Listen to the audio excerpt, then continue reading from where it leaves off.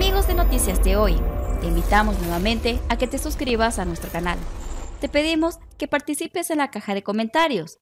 Sin más demoras, comenzamos. Hola amigos y amigas de Noticias de hoy. En esta ocasión te contamos que Chuck Schumer utiliza las demandas de Trump para obligar a los republicanos a entrar en una situación difícil. El líder de la mayoría en el Senado, Chuck Schumer, está utilizando las demandas del expresidente Donald Trump para financiar a las principales agencias federales encargadas de hacer cumplir la ley para obligar a los republicanos a meterse en una situación difícil. Donald Trump, que ha estado bajo varias investigaciones criminales, ordenó la semana pasada a los republicanos que retiraran los fondos a la Oficina Federal de Investigación, FBI por sus siglas en inglés, y al Departamento de Justicia, DOJ por sus siglas en inglés. Su orden llegó solo un día después de que se declarara inocente de 34 cargos de falsificación de documentos comerciales en una investigación de Nueva York sobre su supuesto pago de dinero secreto realizado durante una campaña presidencial en 2016. Ha mantenido su inocencia en ese caso y también enfrenta dos investigaciones del Departamento de Justicia sobre sus supuestos esfuerzos para anular las elecciones de 2020 y documentos clasificados encontrados en su residencia de Mar-a-Lago. El expresidente ha denunciado durante mucho tiempo que su trato dentro del sistema judicial, acusando a los fiscales de partir en cacerías de brujas por motivos políticos con el fin de debilitar su candidatura presidencial para el 2024. El miércoles pasado Donald Trump ordenó a los republicanos que desfinanciaran a estas dos agencias y escribió que los demócratas armaron a las fuerzas el orden en todo el país. Chuck Schumer, un demócrata de Nueva York, anunció el martes planes para realizar una votación sobre una resolución que condena el llamado de retirar los fondos de Trump cuando el Senado se vuelva a reunir la próxima semana, y calificó el comentario de Donald Trump como un brote egoísta e infundado contra los hombres y mujeres que mantienen nuestra nación segura en una carta enviada a sus colegas. La votación podría dejar a los senadores republicanos en una posición difícil ya que se ven obligados a equilibrar su apoyo a la larga data de las fuerzas del orden y Trump, dijo a Newsweek Robert Shapiro, profesor de ciencias políticas en la Universidad de Columbia los pone en una situación difícil. Schumer lo presenta para demostrar básicamente que los demócratas apoyan la aplicación de la ley y pueden ser duros en ese frente de una manera que se desvíe de la perspectiva actual, en comparación con los republicanos, dijo. El Partido Republicano se ha vendido durante mucho tiempo como duro con el crimen, promocionando su apoyo a la aplicación de la ley y las políticas destinadas a tomar medidas enérgicas contra el comportamiento delictivo. Mientras tanto, han acusado a los demócratas de no apoyar lo suficiente a la policía y de adoptar políticas de reformas de la justicia penal, que según argumentan son demasiado indulgentes con los delincuentes. Esta retórica les ayuda a obtener victorias clave durante las elecciones intermedias de 2022 particularmente en la ciudad de Nueva York. A pesar de los resultados decepcionantes en todo el país, se espera que ampliamente que los republicanos dupliquen esta retórica durante las elecciones de 2024.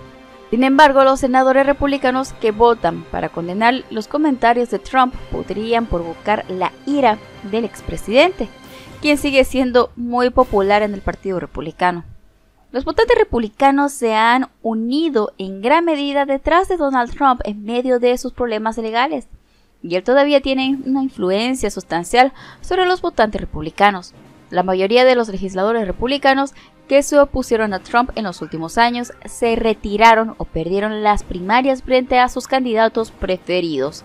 Ruth Block Robin, profesora de ciencias políticas en la Universidad de Chicago, dijo a Newsweek que los líderes de los partidos realizan este tipo de votos de mensajes con más frecuencia, particularmente cuando es difícil participar en la elaboración de leyes sustanciales. Al poner a algunos, presumiblemente no a la mayoría, de los republicanos de Senado en una situación difícil, entrenas a los votantes para que se concentren en las dificultades internas de la oposición y potencialmente en las preferencias atípicas. Y debido a que un voto de mensaje no tiene mucho contenido político, no están obligados para lidiar con las diferencias de opinión en su propio partido, escribió. Agregó que estos votos son ganar-ganar, porque los demócratas no se verán obligados a lidiar con diferencias significativas de opiniones en su propio partido. Shapiro puso en duda que la votación tenga un impacto sustancial a largo plazo, pero podría ser una llamada de atención para los republicanos que mantengan su credibilidad en temas selectivos.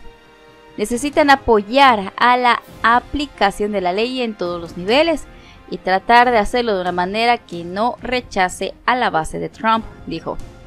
Schumer en su carta a los senadores destacó el trabajo de cumplimiento de la ley realizado por dos agencias federales. El buen trabajo de la Oficina Federal de Investigación y el Departamento de Justicia envía a los delincuentes a prisiones por robar un banco, tráfico sexual, pornografía infantil, delitos de odio, terrorismo, fraude y mucho más, escribió Schumer.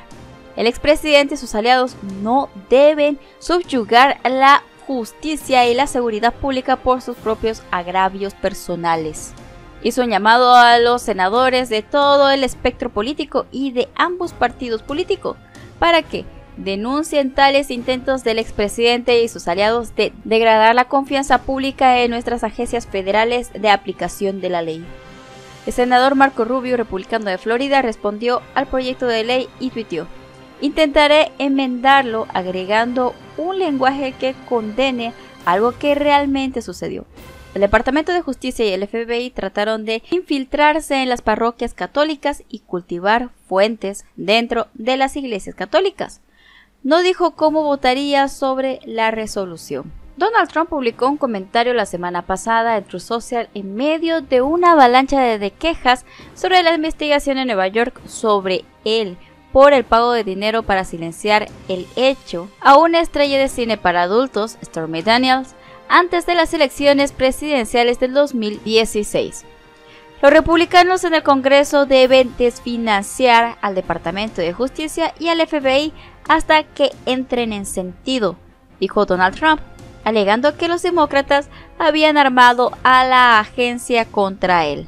La resolución de Schumer indica que el Senado reconoce y aprecia la decisión y devoción de quienes trabajan en la aplicación de la ley federal, condena a los llamados a desfinanciar al FBI y al Departamento de Justicia y rechaza los intentos partidistas de Trump y sus aliados para reducir confiar en la aplicación de la ley federal para beneficios políticos o legales. Algunos aliados de Trump, como el representante Jim Jordan, republicano por Ohio, y Marjorie Taylor Greene, republicano por Georgia, también han pedido que se retiren los fondos a las agencias federales encargadas de hacer cumplir la ley involucradas en la investigación sobre Trump. Pero los expertos políticos y estrategas advirtieron que los comentarios de Trump podrían ser políticamente peligrosos y ejercer presión sobre los republicanos que usan un mensaje de ser duros con el crimen durante la campaña. Los republicanos de la Cámara de Representantes han pedido que se investigue al fiscal del distrito de Manhattan, Alvin Bragg, quien supervisa la investigación sobre Trump y cómo ha utilizado los fondos federales en su pesquisa.